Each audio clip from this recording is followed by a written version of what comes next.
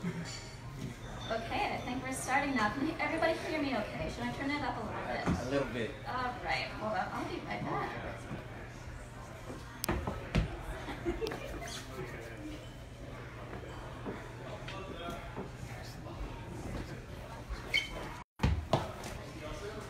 Hopefully that's better. Oh yeah, that sounds a bit better already. Okay, so hi, my name's Michelle. I'm one of the booksellers here at Third Place Books.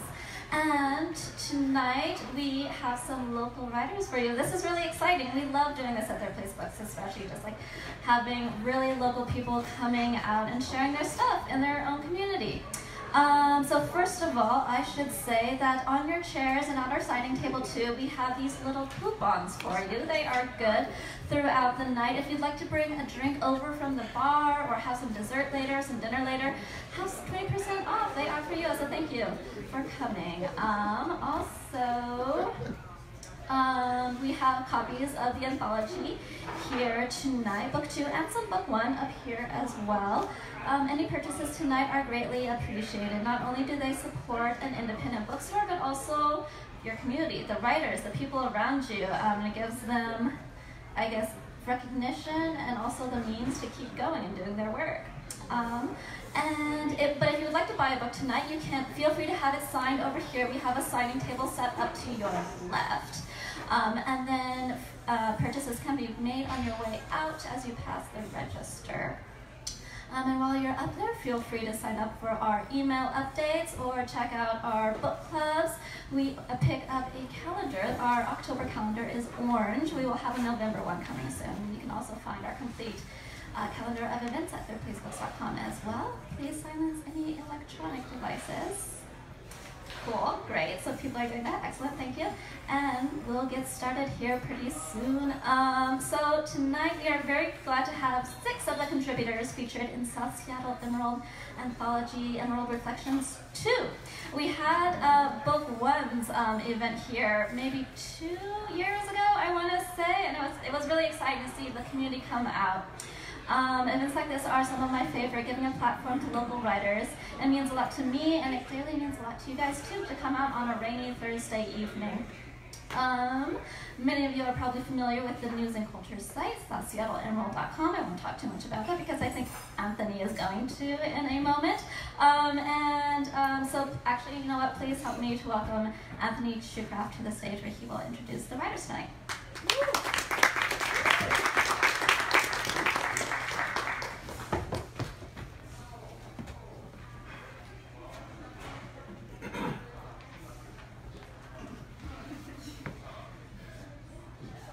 way too formal for my taste, but I'll go with it tonight. So, this, this is perfect.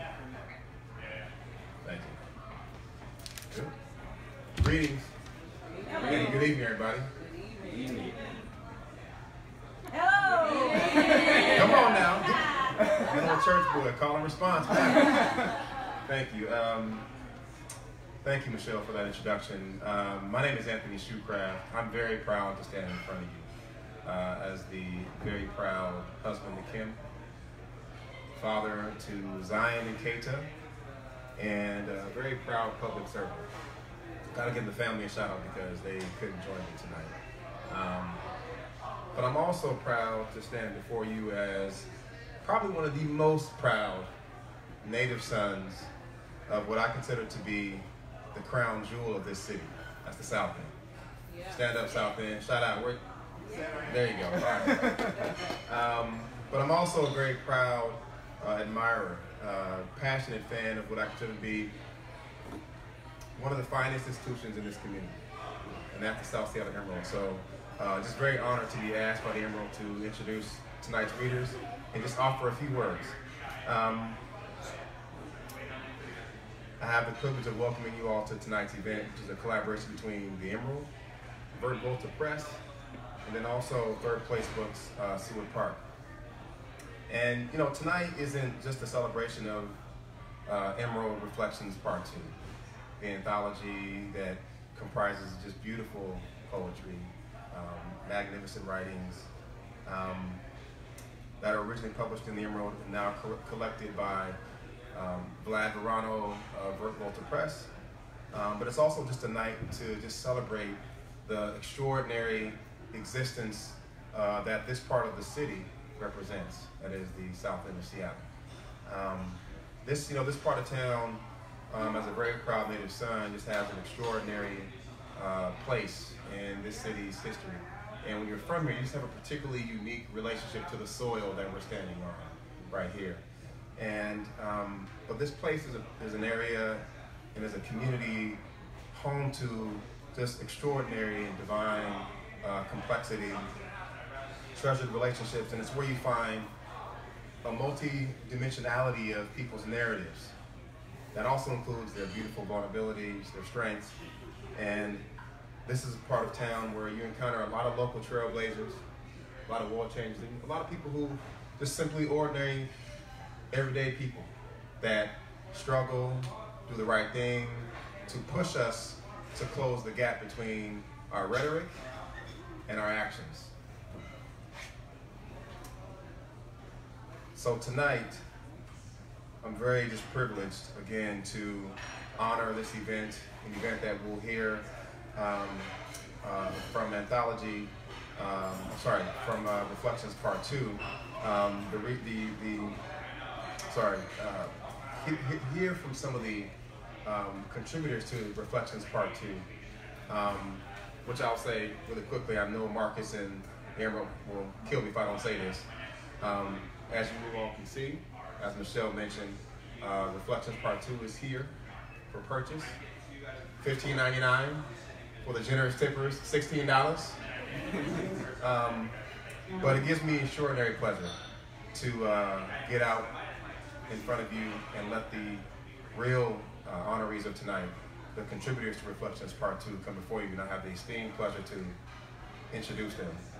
Um, first, I will say uh, it gives me great honor to announce my dear brother, someone who's also a treasure, uh, my dear brother Alvin L.A. Horn. Brother Horn will be reading tonight, In Tune with You. Following Brother Horn will be Riley Williams, reading Steers and Queers. Next we have Nakia Isabel, who will be performing Dear America. Followed by Tiffany Jones, who will be reading Free Seattle Spring. Next we'll hear Marilee Jolin, the Emerald's first and great executive director. She'll be reading Read White Silence is Golden, and then la lastly, we will hear from none other than our dear brother, someone who I consider a national treasure in this community, the very dear Marcus Harrison Green, who will be reading. Shout out, Brother Marcus. Um, that's right. Yeah, yeah. Gotta celebrate each other. Brother, Brother Harrison will be reading. Sorry, I just called you Brother Harrison. That's not a character, brother. Um, but he'll be reading to absent friends for the Trail Williams. And with that, I hand the stage over to Brother Alvin. Please join me in giving Brother Alvin a hand.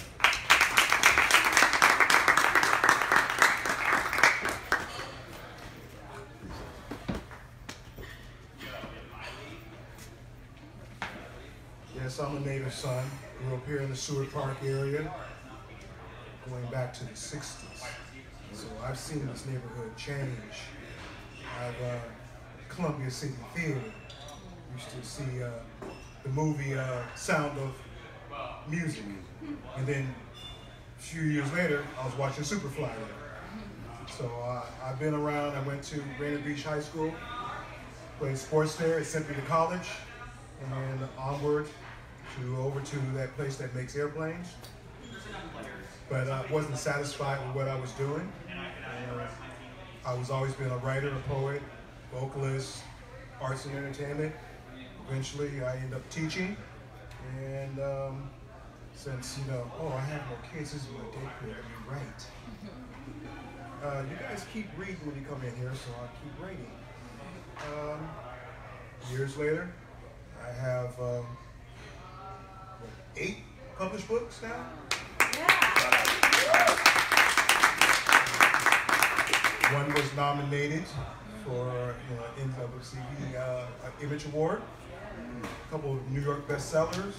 So um, happy to be home and still be in my home.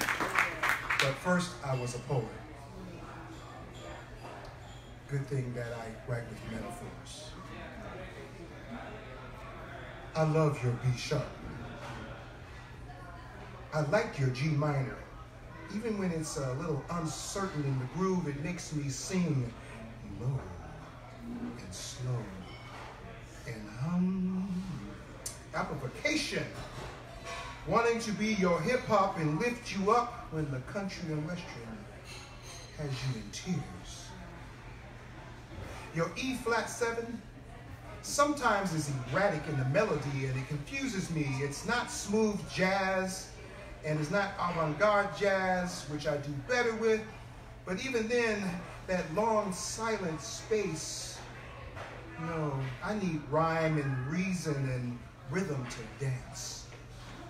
Oh yeah, your C major can make me want to get horizontal and vertical with you. Although I want to play your F, I know I can rock it and remember every nuance, and I can take you to the bridge and vamp on the one to dance and dance. But your C clef needs to meet my bass clef in the middle so we can orchestrate a more effective collaboration. I would love to have your A augmented ninth walk the blues.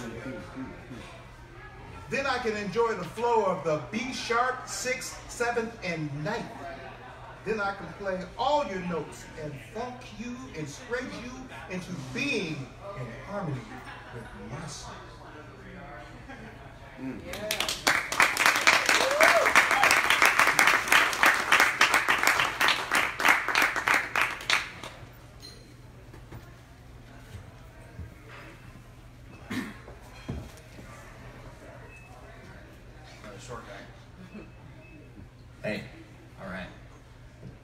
Everybody. Uh, hey. Yeah. Uh, my name is Raleigh. Uh, I was not born in Seattle. I moved here 11 and a half years ago. Uh, so Mark asked me a couple of years ago to uh, write a little bit about my experience coming here, um, or any experience I had with Seattle. So slightly different perspective. Um, I do want to say that because I wrote this a couple of years ago in the summer of 2016, um, it has a little bit of a an optimistic bent about the way the world is going with respect to uh, social issues. So obviously the world's changed since then, uh, and this might not resonate as clearly in that department, but I decided to leave it and read it as is because I think that the positive message is at least as, if not more important. So this is called Steers and Queers. My name is Raleigh, and I'm a bisexual man in my late 20s It's taken me a long time to say that with any confidence at all. If you're wondering how long, I'll give you a hint. Somewhere in the late 20s. Uh, in today's world, living in Seattle, you might wonder what the hell took so long. Uh, was he conservative? Was he? What was he afraid of? Did he experiment in college and adopt a new identity? Um, the reality is frustratingly stereotypical and indicative of the power patriarchy has over all of us. Uh, it was a happy ending, though. I promise. We'll get there. I grew up in a small Texas town where the all-encompassing importance of high school football was rivaled only by Christianity. And I'm not talking about the diet Jesus y'all have up here with the pride flag displayed alongside the stained glass that says all are welcome. I'm talking about the Southern Baptist, every word in the Bible is true, you will burn in hell forever, Jesus. Uh, imagine Friday Night Lights meets Jesus Camp, and you're almost there. I went to the same Christian private school as Ted Cruz. So you can imagine it wasn't an extremely welcoming environment uh, for us queers. In fact, uh, avoiding getting smeared was a real part of life for many people. Um, sexual deviance wasn't even a requirement for patriarchal violence. Simply diverting from the deeply entrenched gender norms that cover every single word choice, item of clothing, posture, social interaction was plenty to inspire corrective action. It was in this world that I went through puberty and struggled to figure out who I was. Luckily for me, I was an athletic white guy, So there's a very privileged box that I could mostly jam myself into if I bent a little and tried really hard not to break. Um, and here's where our story gets painfully paradigmatic. You know the super jock who performed perfect masculinity and helped to enforce those norms on those around him in order to compensate for uh, something? Yeah, it was me. Uh, I don't remember myself as a bully, uh, but there are others that might feel differently. Performing a 16 year old's extreme idea of masculinity is hard to do without hurting people, uh, both physically and emotionally. I'm still pretty ashamed of the way that I treated many of the young men and women that were a part of my life. Uh, I try to be kind to myself now and say that I didn't know any better, which is true, I didn't. Uh, I was doing what I thought I was supposed to do uh, when I treated my sexual partners like objects, or when I defended my pride with violence. I was being man, best I knew how to be. Understanding now why I was that way, and even having some sympathy for my younger self, doesn't make the pain I caused any less real. Uh, I promised a happy ending, right? Not quite there yet. Like any good Texan, I internalized all of these hurtful norms. Uh, of course, I realized relatively early how wrong they were, and I changed my mind. But it's much more complicated than that. I knew intellectually that it was okay that you know other people are gay, and I knew that all people should be treated with respect, and I knew all, I knew all these things, but the damage done to my views of the world went much deeper. Hatred, bigotry, or any other bogus view that is learned young and reinforced at every turn is like a tumor made of glass. The day you realize its falsity, it shatters. It takes years, though, to dig each little shard out of your body. Um, and each one is hard, painful work, and there always seems to be more stole that metaphor from someone. I can't remember who. Almost definitely a woman. Took many years of excruciating and sometimes embarrassing public surgeries before I was able to finally admit that I found men attractive. Never mind that I've been hooking up with them since I could drive. Uh, each one of those early experiences was carefully repressed and kept secret from everyone around me until they weren't. Um, Eventually, news of one of my encounters did get around and caused me a bit of a dilemma. I lost friends, I got prank calls, I definitely lost status amongst my athlete friends. I survived though. In fact, I had performed my heterosexuality so garishly that most people dismissed my secret as an unfounded rumor. I'm sure the privilege that I oozed in pretty much every other area helped quite a bit too this, like everything else, would likely include a few more degrees of difficulty if I wasn't a cis white male. Eventually, high school ended, and I shipped off to Seattle for college. Uh, was a culture shock at first, but I fell in love with Seattle. I won't go into detail here because you probably know more about the city than I do. But it was pretty different from the rural heaven hole that spawned me. Uh, specifically, I was allowed encouraged, and even forced sometimes to come out of the stupid box that I crawled into. After a few years, I found myself surrounded by a loving community that welcomed my true self and actively helped me to understand who I really was. At this point in my life, I still identified as straight, even though I had pretty regular sex with men. And that's the shitty part about harmful social norms. Uh, they work even when other people stop enforcing them because they live inside you. Um, I'm a very masculine person, and in my innermost core, I couldn't square that with being a person that was attracted to men. So it took, you know, several more years of unpacking, therapy, support from my community, and I finally admitted to myself that I was bi. Uh, that was by far the hardest step for me. Pretty soon after, I came out to my friends and my coworkers and the rest of Seattle and that went as smoothly as I could have hoped for. Um, as did coming out to my least conservative non-Texan family members. Um, I finally felt like I was becoming myself and I was loved. Um, and I can't say how thankful, um, I can't say enough how thankful I am to everyone that supported me along that journey. Uh, of course, the next step in the story is coming out to my Texan family and friends, which which I debated whether or not to do, whether or not it was even worth it for another couple of years, and it weighed pretty heavily on me. There are so many reasons to come out that smarter people than me have already made very clear, but my specific experience in Texas had led me to, had not let me believe that it would go, that it would go well. Eventually, I decided the burden should be on anyone who had a problem with it, and not on me. Starting with the last boss, I called my mom and blurted it out. Commence holding breath for three, two, one.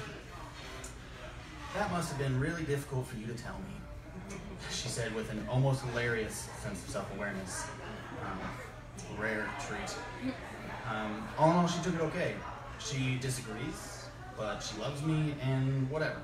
We don't talk about it much, but we still talk. Um, also came out to my high school sports team, and you know what? They did just fine. They were curious and a bit out of their element, but in the end, we're still my friends and held true to my favorite Texan value: do whatever you want, just let me do what I want. so here's your happy ending. Seattle was liberal enough to drag me out of my box. And even though Texas was responsible for building that box in the first place, things are changing. when, I, when I showed back up with no box in sight, they shrugged and passed me a beer. I don't know if that sounds like a big deal to anybody else, but for me it was life changing. And it also gives me so much hope. Even in this crazy world where the extremists are the loudest, things are getting better. Keep up the good work, y'all.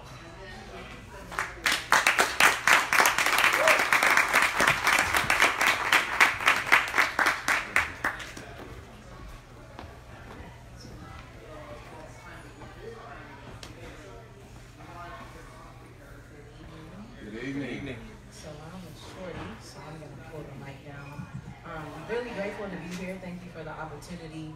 Um, the piece that I'm gonna share is entitled Dear America, and I'm a mentor uh, with the organization called Friends of the Children of Seattle. One of my youth is- is here with me today, who's a poet in her own right. But um, after Kaepernick made his decision to kind of like kneel and all the backlash that he got from it, I just felt in my within my my power and my platforms, what can I do? And how can I write something that exemplifies my frustration, not only dealing with the systems, but also answering the young people that I serve every day. So um, this is called Dear America. I'm gonna sing in the beginning and at the end, so don't be alarmed. Come on.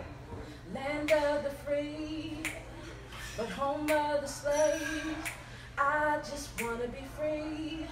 I don't want the fame. These systems try to weigh us down. These systems, they wanna keep us bound. America, dear America, America, dear America. Dear America, I want you to know that all lives matter, so yes, that includes the black lives too. And no need to get defensive, but please listen to hear and not to speak of your ignorance. Our mothers, fathers, and children are crying while our corpse hit the pavement, bang, bang, pop. You pulled the trigger again because of your trained fear. It's these systems, so you ask why Kaepernick doesn't reverence your flag, but I ask, why don't you admire his response to injustice? See, I'm tired of the excuses you use to justify the crime that our very law prohibits.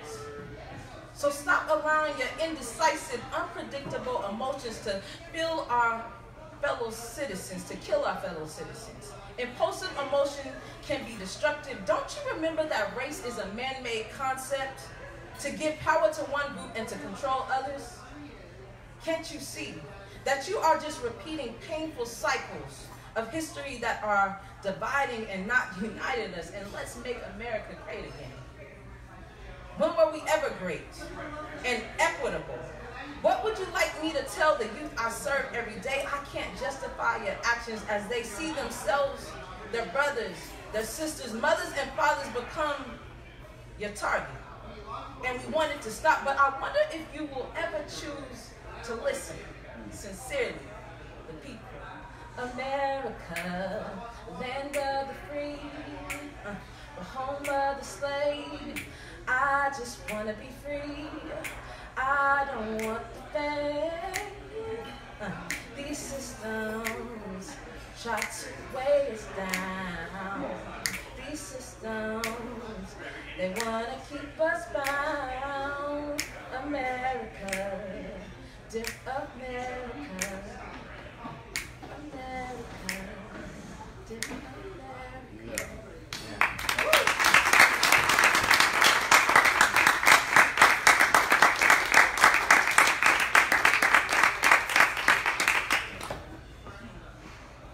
You're a shorty, but I am too. Thanks for helping me out. I've been writing poetry for five years.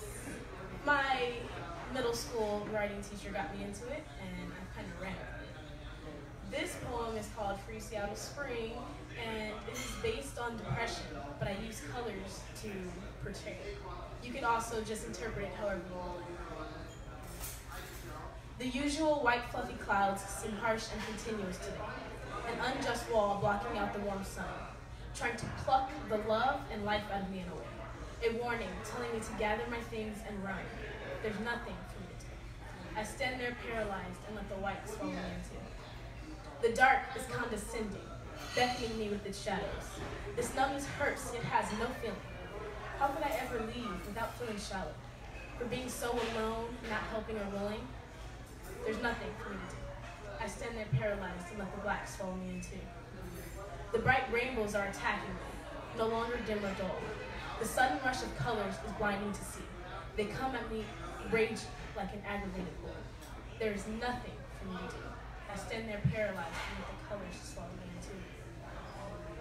The words try to bring me back. They take the, they take the tears, wipe them dry, place the smiles that I lack. There's nothing for me to do. I can move once again. The depression has finally been removed, and I am free, just like you. Yeah. Come on, man.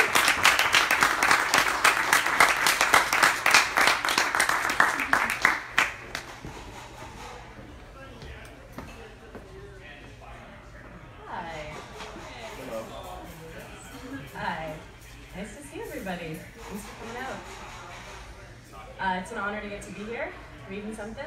Realized tonight, um, it's been so long since I've written anything. Change that, maybe, hopefully. Yeah? Um, but this piece was written back in May of 2016. And uh, I mostly am saying that from a very selfish place. And uh, you'll all hear why in a minute because I'm uh, speaking from a place of ignorance about a certain essential part of American history in this essay, who I'm happy to say, mostly thanks to Marcus. Sorry, I don't need that at all. I don't know why I had it. Uh, I now am far more educated about. So there's your there's your intro. This is titled "White Silence Can Be Golden." On Saturday night, I had the distinct privilege of attending Spectrum Dance Theater's production of A Rap on Race. The script is an adaptation of the 1970 recorded conversation between poet and author James Baldwin and anthropologist Margaret Mead. Baldwin, portrayed by local Tony Award winning choreographer Dan- Donald Byrd, and Mead, played by actress Julie Briskman, sit on a raised platform discussing race in America, their tense and powerful conversation reflected in the evocative movements of the superb dancers below them. Going in, I had no idea what to expect from this theater experience. I knew little of the real lives of the two characters, having vaguely heard Mead's name, but woefully innocent of Baldwin's literary legacy. Would I be lost without the requisite knowledge of these people? No. In fact, from the moment the two American legends opened their mouths, I found myself in the midst of a very familiar and eerily modern sounding conversation. This familiarity was both illuminating and disturbing. I can't help but ask with shock and disappointment are we really at the same place in the discussion of race as in 1970? Have we not progressed in 46 years? Over the course of the 80 minute performance, Baldwin and Mead fall into a well worn pattern, with Baldwin trying to convey the exiling and intolerable experience of being black in the United States, while Mead attempts to exonerate herself from blame, and, moving quickly past Baldwin's pain, focus the conversation on the future. After a particularly intense exchange in which Mead dismisses Baldwin's suffering by focusing on her internal beliefs, Byrd finally exclaims, We've got to make some connection between what you believe and what I've endured. In hearing that sentence, a light bulb went on for me.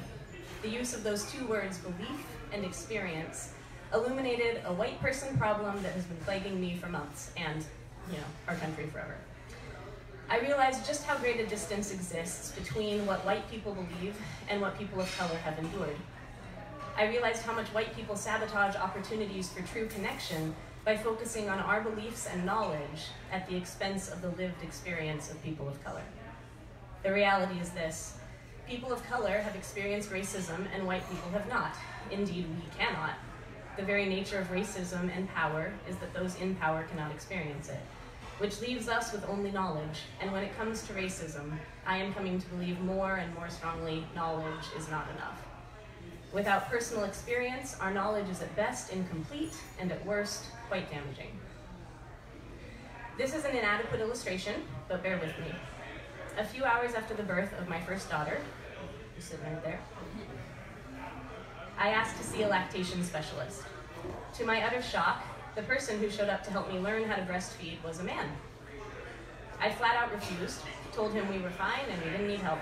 This was a lie. My daughter was not eating and I was scared. But I couldn't stomach the idea of a man trying to help me with this uniquely female, decidedly intimate process.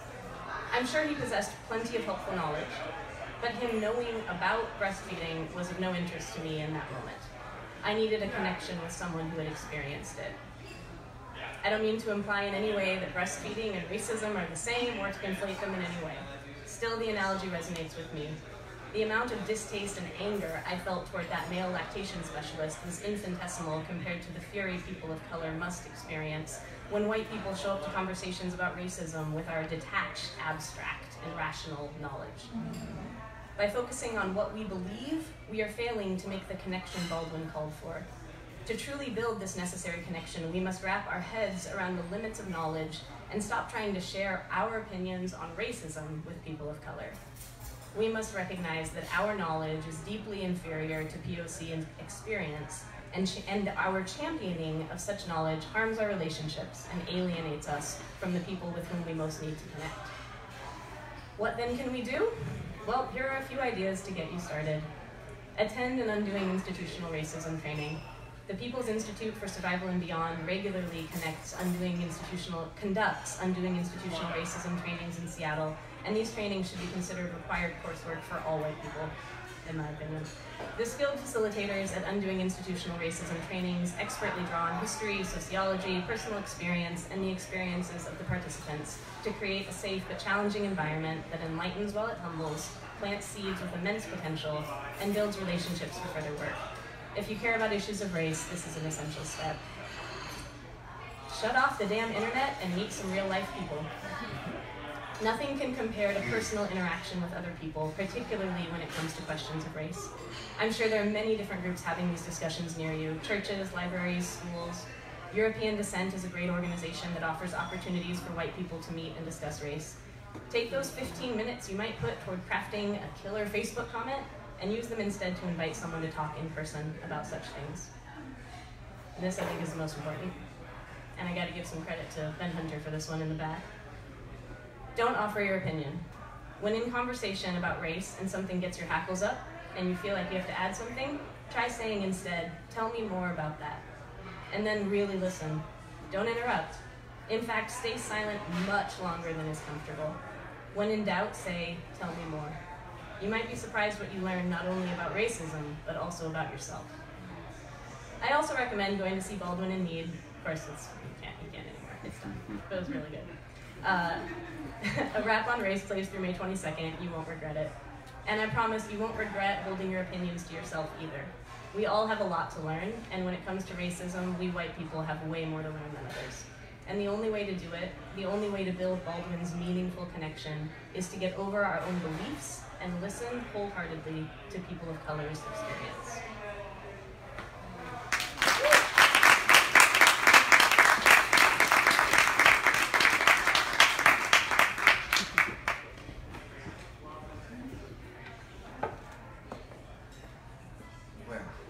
Everybody doing tonight? Thank you for coming out. Um, I've heard it said once that you can guarantee a great event if you are the least talented person a part of it. And, uh, so this is definitely a great event, I must say. Uh, um, just thank you so much for being here. Thank you uh, to my managing editor at the Seattle Times, Michele Matassa Flores, for allowing me to be here tonight. She doesn't loan me out anymore to just any publication. So I, I don't know what deal you worked out, the, the Emerald, but they can't talk crap about. Okay, okay. The Emerald can't talk crap about the Seattle Times for three months or something. Is that what? what are they gonna write about? Oh. Um, no, but. Uh, uh, it's, it's, ironic uh, that I'm reading the essay I'm reading today. Uh, uh earlier today, I was out um, doing a story, and a young man um, he uh, said, "You're the Emerald. You have you have legacy." He said, and I thought a lot about that word because um, I used to have this superficial understanding of legacy. thought it was the street corners that were named after you, or the words and quotes that you had written down that, that people would attribute to you um, on some statue. And uh, begin to realize how ephemeral those things are, and how transitory. Um, so you begin to realize how much legacy really is an exercise in love. Um, I thought about that with uh, so, this essay that I'm about to read about my friend Latrell. Um, how much how much his love uh, guided me to become a better person in life. And um, can't tell you uh, how much that's meant to me. Um, been fortunate enough to have so many people who have uh, guided me with their love to becoming a better person. Um, some of them are in this room, but uh, uh, he was the first. And um, so we'd like to tell you a little bit about my friends. And I would also like to point out that uh, his beautiful mother, Linda, his wonderful son, Chuck Jr., are here today. Um, thank you for allowing me to honor your father and to honor your son. Um, so with that, to absent friends on the trip. Childhood officially ends the moment you learn your friend was murdered. Before then, Regardless of how many years spent bumbling around the spinning rock, there still exists a faith in the resiliency of tomorrows. Your heart still clutches tightly to the adolescent conviction that tomorrow's arrival carries with it hope and luminous possibilities to vanquish whatever darkness engulfs you today. But that belief evaporates once you hear the person you roamed high school hallways with, the person who helped you as an awkward loner endure a terrible high school experience, the person who helped you persist in your seemingly delusional passion for writing, died before his time, killed just a mile from your home. I found out yesterday that my high school classmate, Latrell Williams, was identified as the victim in the fatal shooting that took place Tuesday night near the Lake Ridge neighborhood.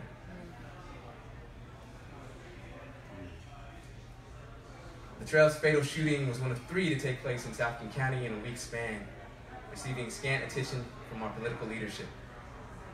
Speculation coming from local television stations and neighborhood social media groups and next door haven alike followed the typical scripts reenacted whenever a black male is killed in a shooting in the South End. Mm. It must be a gang thing.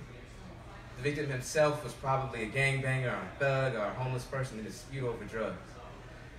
The usual monikers are painted on an unknown murdered black man. His life now a blank canvas colored in by an ignorant perception. Initially, I gave only a passing thought about the shooting, caught up in the frenzy of a news cycle, continuously vomiting up one dismal tale after the next. My shame came from recognizing that I too had originally dismissed this as just another sad tragedy. A story that happens too often because I, like the others, had casually reduced the life of who I thought was an unknown person to a stereotype. And while I can't speak to every aspect of his life, I can testify to those I knew. Latrell was anything but stereotypical. My mind went back to our high school days. Like me, Latrell was a black South Seattle bred student exported to a predominantly white, affluent school. Unlike me, he had the genetic jackpot. As a star running back our senior year, his muscles seemed constantly pregnant. about to give birth to one another. Black Hercules, Latrell. The trail looked like the love child of granite and titanium. Despite his talent for athletics, we aligned because we were still two people who never wholly seemed to fit in. Unable to completely give away all of ourselves to an atmosphere that rejected a large chunk of our personas. Each year, I did my best to exhaust every absence I could from school I dreaded attending each year. I counted down every minute until the clock hit 2.30 p.m., bringing the sweet salvation of the dismissal bell, and the reprieve it brought from the shame of being black and poor. But Latrell made my captivity there bearable. Star running back would sit at the cafeteria table with me. Right at the exact moment I began thinking I had been placed in a contagion because no one dared come within a 10 foot radius of me. Naturally laconic, every word he spoke had purpose. He used them to convince a 120 pound, rail thin, five foot nothing to join the football team during my final year of high school. Come on, come on. I've, I've grown an inch since then. As much as I hate to admit it, that, that was the best experience of my high school years. Hmm. It was how he persuaded me to continue showing up to class after I had been warned that one more absence would result in me automatically failing the year. I had the bright idea to simply stop showing up to school so my parents would be forced to let me finish out high school elsewhere. It's how he got me out of the trouble all of those times. I was busy, do, busy doing every single one of those lurid things teenagers swear up and down to their parents that they're not doing, but of course are. It was how he persuaded me to finally enjoy a little bit of my experience at a high school I spent three and a half years hating with the raw intensity of a thousand white hot suns. He rarely smiled, as he seemed to always be navigating his place in the school and the world, along with his future's course as a football recruit. But still fixed in my mind is the one he laid on me during our graduation as he was named the Athlete of the Year. Though he was looking out at all of us, I kept thinking it was directed at me, saying in his typical understated way, "You South End boys, man." Our paths diverged after high school. He went off to play football at Montana State, and I went California dreaming in Los Angeles. But they converged again, though, when I returned to Seattle, giving up one fantasy to pursue another. I began bumping into him almost every day at the Rainier Beach Library. It was the only office space I could afford in the early days of the Emerald. He would be, be there just as religiously, working on scripts for a show he had in mind to produce one day. And our friendship was rekindled. We talked about our shared craft of storytelling, contrasting our chosen mediums. His love for the visual was matched by mine for the written word. For that, he had my kinship, but he had my respect for the fight he was undertaking. He shared with me his long, protracted custody battle for his son that had lasted for more than a year. I remember thinking then the same thoughts as I do today. That in a world where black men are constantly maligned for being absentee fathers to the detriment of their families, here was Latrell determined and obsessed with Good time, brother. He was obsessed with reuniting with his 12 year old son, no matter the cost in money or time. He would keep me regularly updated on the progress or lack thereof, and we'd encourage each other to show up every day to chip away at our dreams. We struggled and strived and survived in those early days when our dreams seemed to be unable to escape irrelevance and failure seemed inevitable. But the words lifted my spirit as they had a decade earlier when he told me whether sprinting, walking, or crawling, just keep moving forward. Months of Sundays had passed since we saw each other. Childhood really is gone, and with it a re- reliance on tomorrow's grace to speak words foolishly delayed. But he never waited to speak the ones I needed to hear. And I wish I hadn't reserved my own in thanking him for feeding a scrawny kid belief who previously feasted on a steady diet of doubt. I wish I had capitalized on our shared present to express gratitude for steering a reckless teenager's destiny away from the treacherous hazards along life's turnpike. I wish I would have said, I love you, Latrell. But as you once told me, it's never too late to do what needs doing. Mm. Thank you.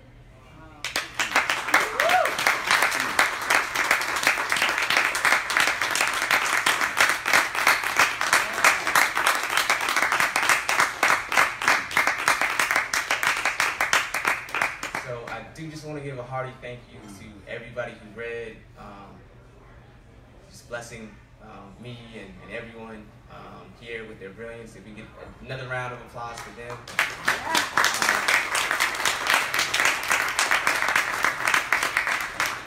Thank you to Anthony Shoecraft, a wonderful host with the most. Um, yes, yes. Vlad Verano, who, who made Emerald Reflections 2 uh, what it is, literally, Um, and yeah, uh, I know that my editor told me that I could uh, I could go home again, but I couldn't stay for too long. Um, so uh, I will be here for the next few minutes if people want to talk and, and sign books, and I know some of the other contributors will be as well. Um, I would be remiss if I did not say, uh, Mitch, you had something to say? I, yeah, well.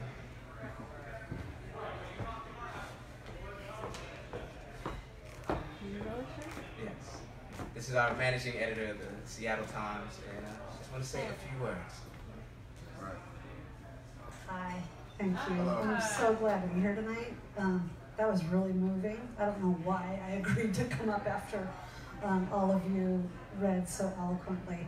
Marcus asked me if I want to say a few words tonight. Um, I will say just a couple quick things. One is um, Marcus and I struck up a friendship, uh, I don't know, a couple years ago maybe. I've admired what the Emerald does, and I've totally admired Marcus, um, even when they were calling out the Seattle Times. Um, and I think that's a really important mission for a publication like the Emerald. Um, and that's a big part of, of why I went after Marcus and hired him at the Times. Um, and I'm really excited about the work he's already doing and will do for us. Um, I think the main reason he wanted me to get up here and talk is to hold me accountable, probably, because um, uh, I'm hatching a little plan with him, which is starting after the first of the year to come out into South Seattle maybe monthly or so and have kind of just a casual conversation with people, um, to reach out and just listen, like you were saying, just listen to people um, out here. I know that the Times is not always well regarded.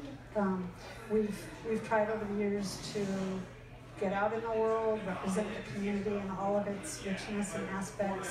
We've tried to diversify our own staff to accomplish that. We've had ups and downs, successes and failures along the way. Um, we're really recommitted to doing that and doing it well. So I plan to get out here personally um, once a month and invite people in different settings. We're still kind of figuring out the details. I committed to Marcus to do that. And like I said, I think the reason he wanted me to say it out loud here is because then I really will follow through. um, life gets busy and, and um, I can all make excuses, and now I'm on the record saying I'm going to do that. So that's really all I need to say, other than thank you to you, Marcus, for all you've done.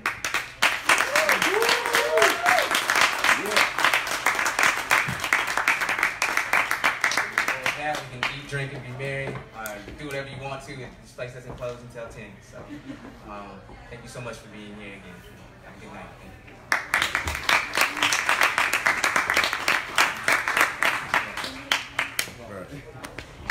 Beautiful, King. Appreciate you, brother. That was, uh, that was remarkable.